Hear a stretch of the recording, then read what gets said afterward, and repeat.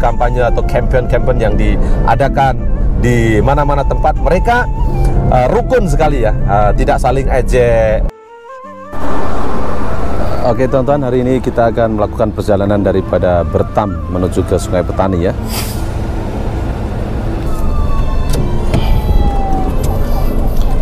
Baik teman-teman, Assalamualaikum warahmatullahi wabarakatuh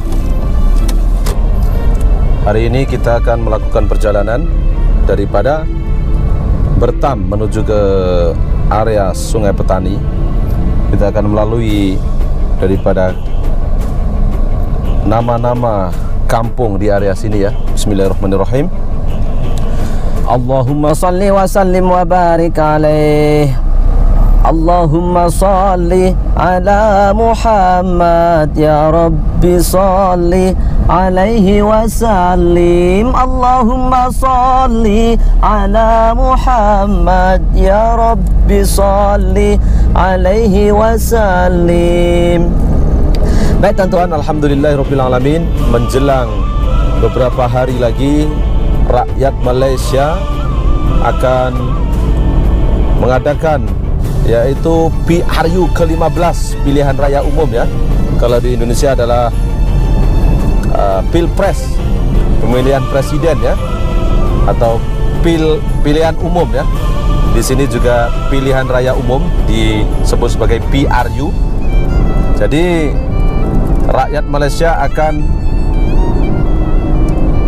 berpesta demokrasi yang pada mana yang akan bertanding pada pilihan raya kali ini ada daripada Partai Pejuang Tanah Air ada daripada harapan yang diketuai oleh seorang bekas Perdana Menteri yaitu Anwar Ibrahim dan ada daripada PN uh, Perikatan Nasional yang diterajui diketuai oleh bekas Perdana Menteri juga yaitu Tan Sri Muhyiddin Yassin dan ada satu lagi daripada Barisan Nasional uh, yang diketuai oleh salah satu bekas juga bekas daripada timbalan Perdana Menteri yaitu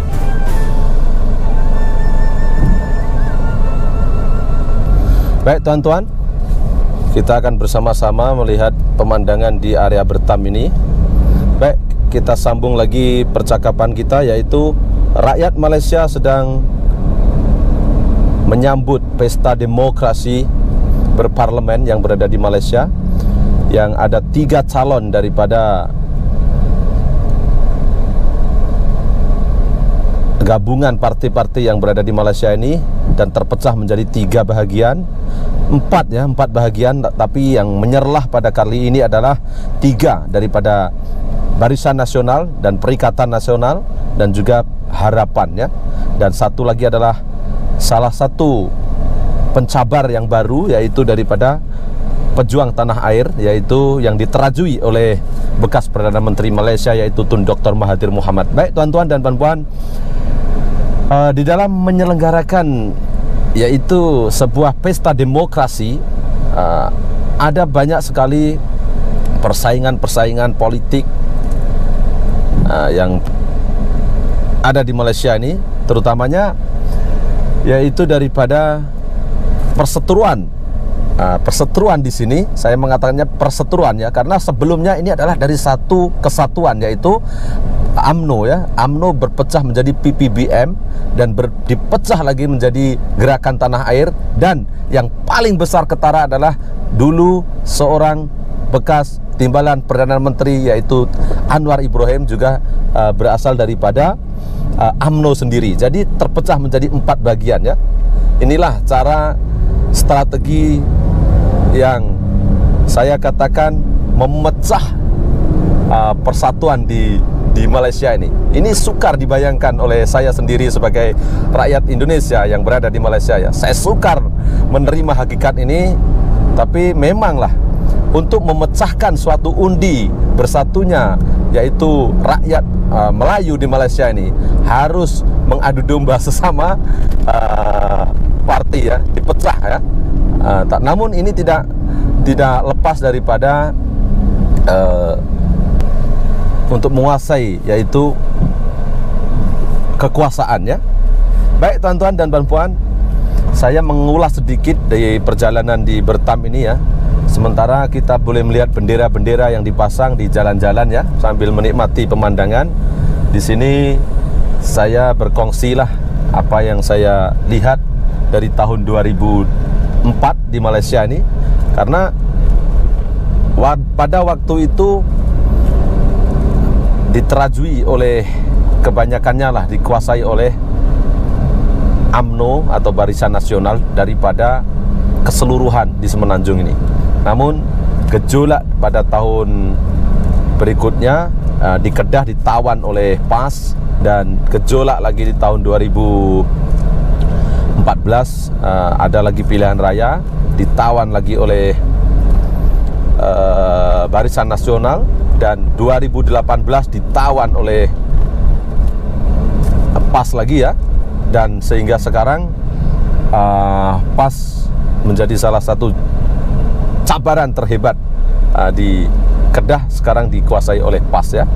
Jadi pertukaran-pertukaran perdana menteri, pertukaran-pertukaran uh, seorang penjabat di pimpinan atas ya, itu ternyata membuat ekonomi di Malaysia ini uh, ketinggalan ya.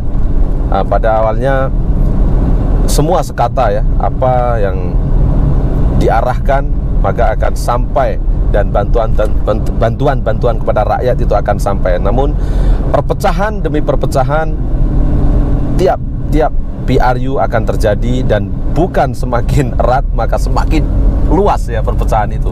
Kita bisa melihat sendiri bahwa di Malaysia dahulunya hanya ada dua ya ada BN dan ada PAS ya. Uh, ini pertembungan politik yang dari dulu lah ya dan berubah menjadi bertambah satu lagi dari uh, AMNO berpecah menjadi PKR lagi di tubuh uh, Anwar Ibrahim menjadikan uh, mem Datuk Seri Anwar Ibrahim membuat partai yaitu Partai Keadilan Rakyat. Dan selepas kemudian lima tahun uh, ada ditubuhkan lagi PPBM yaitu Partai Pribumi Malaysia Bersatu ya. Dan lima tahun kemudian tak sampai lima tahun ya tiga tahun kemudian maka bergantilah tampuk kekuasaan yaitu dijatuhkannya Tun Dr. Mahathir Muhammad dan Selepas itu mendirikan Partai Pejuang Tanah Air ya atau pejuang ya. Di sini memang demokrasi yang ada di Malaysia ini semakin kelihatan ya, uh, semakin terbuka ya. Namun demokrasi seperti ini akan semakin memecah belah di antara rakyat ya, khususnya yaitu uh, kaum pribumi yaitu Melayu uh, yang beragama Islam ya, Melayu. Jadi di sini menarik sekali ya. Kalau di Indonesia memang puluhan partai politik uh, dahulunya juga dapat disatukan oleh Golkar ya.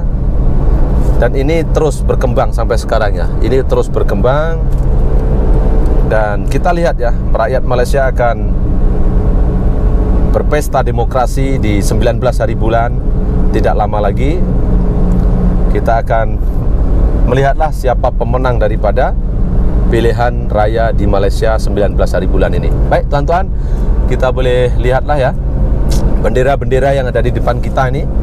Uh, kita ada di Bertam ya untuk menuju ke Sungai Petani, tuan-tuan. Nah, inilah. Nanti di sini kita boleh melihat semua nih barisan nasional ya ini. Uh, tidak tidak disaingi ya bendera-bendera di sini. Ini lihat ya gerakan di uh, P04 ya ini.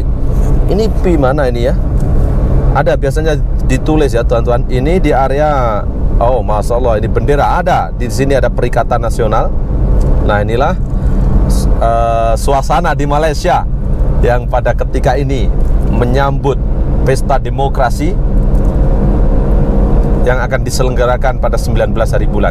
Empat calon sebenarnya ya. Kalau daripada uh, pejuang uh, boleh memenangi kursi parlemen dan akan dapat masuk ke Putrajaya maka ini adalah salah satu pencapaian politik Tun Dr. Mahathir yang sukar-sukar dibayangkan oleh musuh-musuh politik beliau namun apabila uh, daripada uh, harapan ya atau Partai Keadilan Rakyat yang dipimpin oleh bekas seorang wakil Perdana Menteri Malaysia pada 1997 yang dijatuhkan juga dimasukkan ke dalam penjara yaitu uh, Anwar Ibrahim ya. Uh, daripada Permatang Pauh ya. Ini menarik sekali.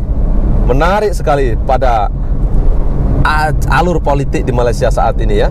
Dan ini boleh dijangka maka akan memenangi juga banyak kursi-kursi parlemen ini karena sebelum ini partai PKR juga sudah menang dan mungkin mungkin pada kali ini peluang untuk menang lebih lebih besar ya. Ada lagi daripada Perikatan Nasional dan Perikota, Perikatan Nasional ini sekarang bergabung dengan PAS ya, Partai Islam Semalaysia ya. Bergabung, saya pun tak, tidak menyangka ya dapat bergabung dengan Partai Islam Semalaysia uh, bergabung untuk disebut sebagai Perikatan Nasional. Nah, pada hari pada tahun ini pada pilihan raya umum ke-15 kali ini memang menarik tonton. Saya sangat tertarik uh, dengan alur politik di Malaysia ini dan ini mendewasakan bagi rakyat-rakyat ya. Tapi banyak rakyat di Malaysia ini sudah dewasa dan sudah berpengalaman ya dan saya boleh melihat sendiri daripada kampanye-kampanye atau campaign-campaign yang diadakan di mana-mana tempat mereka uh, rukun sekali ya, uh, tidak saling ejek. Mereka uh, bolehlah dijadikan contoh ya. Dan untuk yang berikutnya adalah daripada barisan nasional yang bekerja sama dengan parti-parti uh, yang lain uh, masih tetap di dengan MCA juga ya uh, dan parti-parti yang lain itu membentuk barisan nasional yang diterajui oleh uh, bekas bekas daripada wakil perdana menteri juga yaitu Zaid Hamidi ya. Uh, dari Kulon Progo. ini ini menarik sekali. Pertembungan politik ini yaitu uh, perpecahan yang membuat uh, rakyat semakin tahu apa itu demokrasi ya. Supaya rakyat ini lebih matang ya. Daripada dipecahnya. Ini yang memulakan adalah Tun Dr. Mahathir sendiri yang begitu lihai, yang begitu hebat sekali untuk memecah bagaimana uh, apa yang dilaung-laungkan, yang dilaungkan oleh Tun Dr. Mahathir sendiri adalah pribumi dan Melayu. Dan di sana dia masuk ke relung daripada eh, saraf-saraf uh, di partai AMNO sendiri. Dengan begitu maka dia menjadi seorang perdana menteri diangkat oleh AMNO untuk menjadi perdana menteri pada 1982 uh, dan akhirnya pada uh, pilihan raya umum ke ke 14 membuat partai dan mengecam partainya sendiri yaitu partai AMNO ya dan menubuhkan Partai Pribumi Malaysia Bersatu dan sekarang sekarang membuat partai sendiri yang dipimpin sendiri yaitu Partai Pejuang. Ini bukan salang-salang manusia ini ya, tapi ini memecah ya, memecah undi ya. Kalau ini uh, dapat disatukan kembali, maka kalau daripada pemenang ya, pemenang pilihan raya umum sekarang ini dapat menyatukan kembali uh, puak-puak yang berpecah ini, maka akan menjadi hebat ini. Maka persaingan politik akan menjadi bagus dan semua tidak akan mempunyai satu kuasa mutlak karena harus berkolaborasi dengan partai-partai yang lain. Ini bagus sekali, tapi uh, rakyat akan kebingungan ya. Uh, siapa nih? Nak pilih siapa nih? Semua dari pada akar umbi yang sama yaitu AMNO dan uh, ini saja yang saya dapat ulas ya. Di politik di Malaysia pada kali ini memang tidak disangka. Dan saya sudah 18 tahun di Malaysia. Saya tidak menyangka sama sekali akan terjadi hal seperti ini. Baik tuan-tuan terima kasih perjalanan saya untuk kali ini menyikapi politik-politik di Malaysia ini. Uh, semoga apa-apa yang baik itu menjadikan manusia semakin mengerti bahwa politik itu tidak tidak tidak semuanya politik itu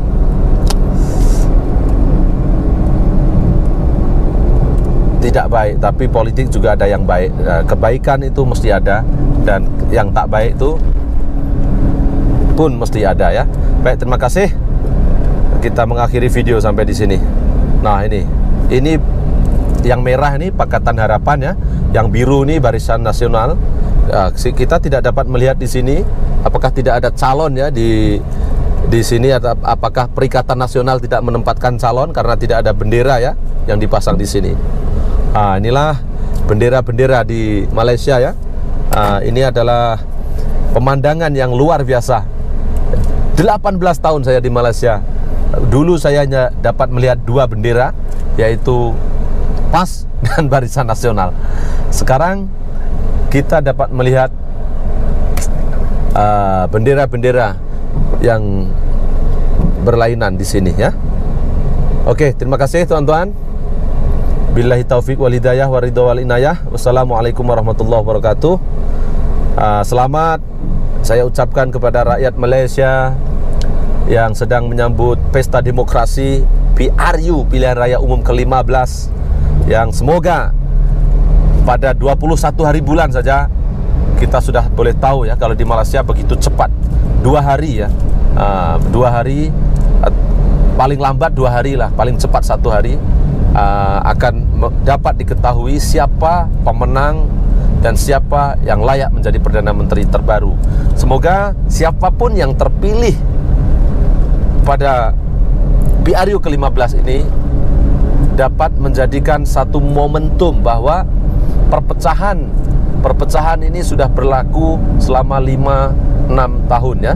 5 6 tahun kebelakangan ini dan semoga yang terpilih kali ini dapat merangkul kembali seperti di Indonesia ya, seperti Joko Widodo dan juga uh, seorang lawan politik dia yaitu Prabowo Subianto yang akhirnya tertunduk malu dan harus uh, mengakui kemenangan daripada Joko Widodo dan menjadi uh, masuk ke satu kabinet dan senang berbagi ya. Terima kasih. Uh, Terima kasih, terima kasih. Wassalamualaikum warahmatullahi wabarakatuh.